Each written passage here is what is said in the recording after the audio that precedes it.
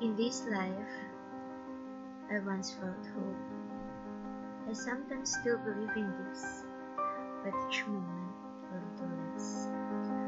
I feel abandoned in my despair, and it's difficult to repair.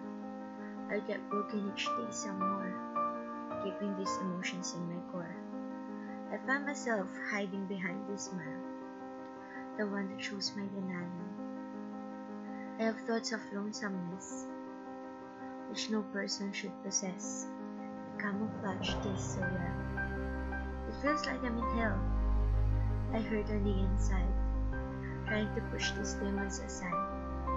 I want something better, to not feel all this terror. I know it can be manageable. There are things that makes me feel like tolerable. I just cannot find the thrill. Like when I was a child with a one bill. I remember when dreams were imaginable. Now, it feels like I'm undoubtedly fallible. I wish to find myself soon. This feels as if I'm trapped in a cocoon. I would like to hatch, not to be so detached. I need to end this coldness before death leaves me soulless.